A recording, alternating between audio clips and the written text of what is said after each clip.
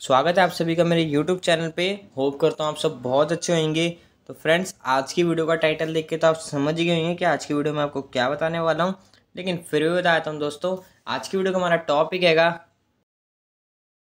how to turn on and off aeroplane mode जी हाँ दोस्तों, आप एयरप्लेन मोड को कैसे वीवो के डिवाइस के अंदर, अगर दोस्तों आप नहीं जानते कि वीवो के डिवाइस में कैसे एरोप्लेन मोड की सेटिंग्स को यूज़ करें उसे ऑन कैसे करें, उसे ऑफ़ कैसे करें, उसका यूज़ क्या होता है? तो दोस्तों, आपको घबराना नहीं है आपको सिंपली मेरी वीडियो को फुल वॉच करना है और बिना स्किप कर आपको पूरी वीडियो देखने की। तो चलिए फ्रेंड्स वीडियो बहुत इंटरेस्टिंग होने वाली है आज की वीडियो को स्टार्ट करते हैं। आपका बिना कीमती वक्त ज़ाया करे।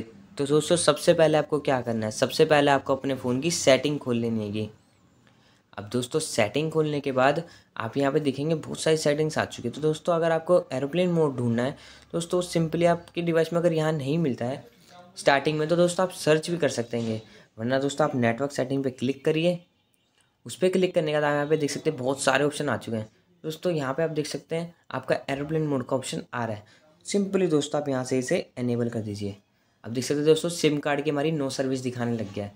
तो दोस्तों एरोप्लेन मोड का यूज़ यही होता है कि दोस्तों सिम कार्ड हमारी डिसेबल हो जाती है। जितनी भी हमारे डिवाइस में सिम कार्ड होती है, अगर दो सिम कार्ड है, दोनों डिसेबल हो जाएँगी। तो फ्रेंड्स अगर आपको कभी ज़्यादातर लोग इसको इसलिए यूज़ करते हैं दोस्तों कि जैसे आप कोई ज़रूरी काम कर रहे हो और आपके पास बार बार कॉल मैसेज आए जा रहे हैं तो दोस्तों आप अपना डिवाइस एरोप्लेन मोड पर डाल सकते हैं। तो आपका सिम डिसेबल रहेगी। दोस्तों, कोई ना मैसेज आएगा, ना कॉल आएगी। फ्रेंड्स जैसे आपका काम हो जाए, आप यहाँ से सिंपली इसे डिसेबल कर दीजिए। दोस्तों, ये सिंपल यहाँ से ऑफ़ भी हो जाएगा। तो फ्रेंड्स ये था आज की वीडियो का टॉपिक होप करता हूँ वीडियो पसंद आई हो। चैनल को लाइक करना सब्सक्राइब करना।